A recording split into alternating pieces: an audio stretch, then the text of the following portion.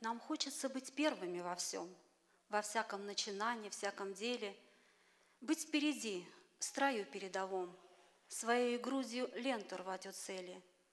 Сам Бог вложил желание это в нас, полезное, хорошее влечение, но чтоб огонь напрасно не погас, Он дал ему святое направление.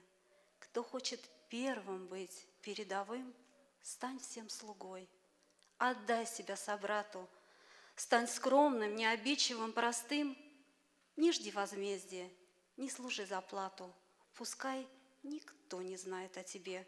Пусть имя не в неоновом свечении, и сам ты не мечтаешь о себе, а просто выполняешь назначение.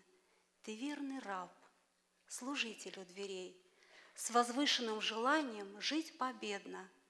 Господь сказал в премудрости своей, что первым быть, тот должен стать последним.